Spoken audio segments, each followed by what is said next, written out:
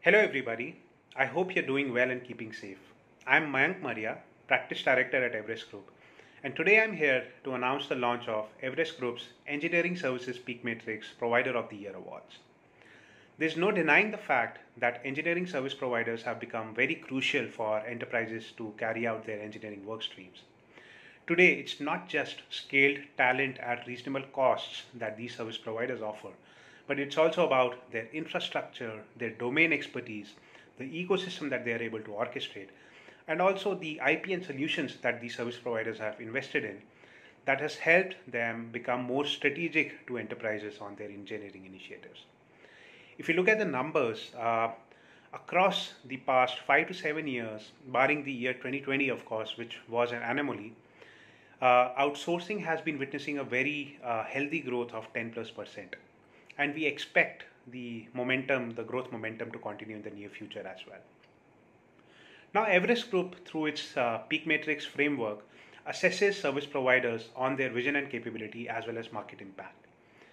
During the period of October 2020 to September 2021, we conducted five such assessments in the engineering services space, covering more than 50 service providers. Uh, given the uh, diverse nature of assessments and the rich data sets that we had, we thought why not also go back to the market with an aggregated view of who the consistently top performing service providers are. And that has led us to launch this inaugural edition of Engineering Service Provider of the Year Awards. Now, without further ado, why don't we get into the results? Uh, you'd be seeing the results on your screen now, and while you review them, let me share some of my observations.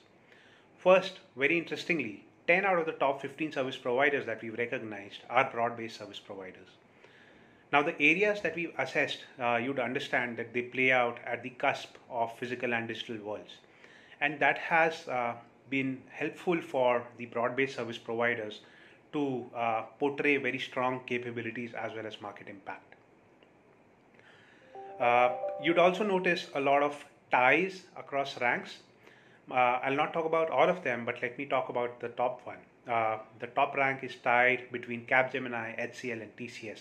Interestingly, again, all three of them being broad based players.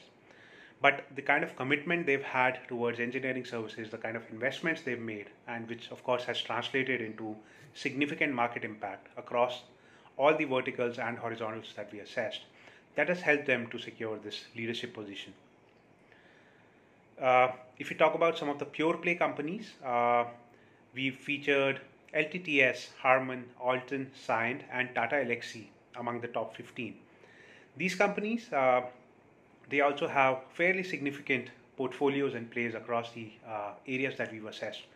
But while they'll be strong in some, they'll still be building their portfolios and capabilities in some others. Though there's no denying the fact that these players also recognize digital engineering as a very significant theme and are investing towards it. Lastly, we've also uh, recognized five players as challengers. So, an enterprise can look at these challengers as credible alternatives to the leaders. Interestingly, four out of these five challengers are also uh, broad based players.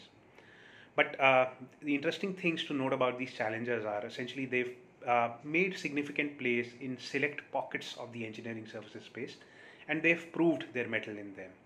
While they continue to expand, they continue to explore other opportunities to invest into. That's largely what I wanted to share today, and I hope you found this useful. Should there be interest to discuss any of the aspects of this assessment uh, uh, in greater detail, feel free to reach out to us. Thank you, and have a nice time ahead.